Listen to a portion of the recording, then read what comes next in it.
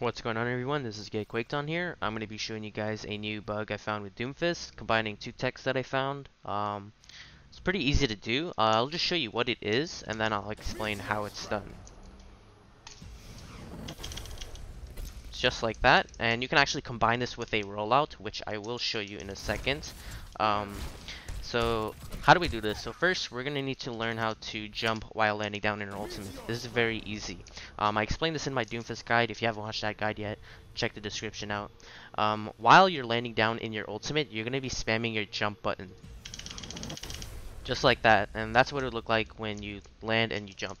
Now, um, this right here to ride the car. So what I recommend is you enter the zoom out mode because as you see the car is pushing my ultimate around. I'm not moving this.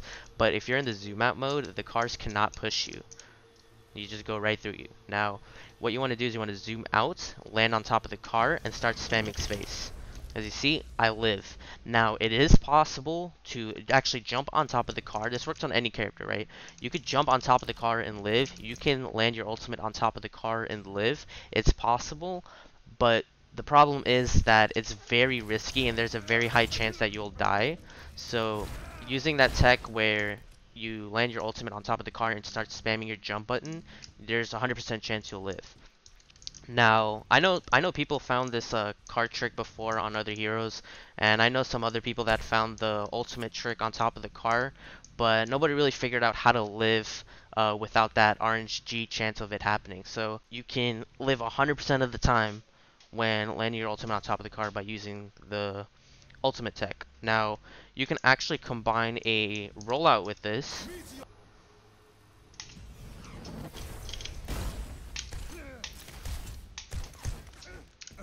So yeah, that's basically the little bug tech thing. Um, like I said, it's not really practical, it's just for memes, I guess. But uh, I think it's going to be pretty fun to do and pull off in a game. Uh, people are going to be kind of surprised that you came out of nowhere. But yeah, uh, that's pretty much it. I uh, hope you guys enjoyed this video. Thanks for watching. Uh, go check out my bounce guide and my whole Doomfist guide. That's all in the description below. But yeah, see you guys.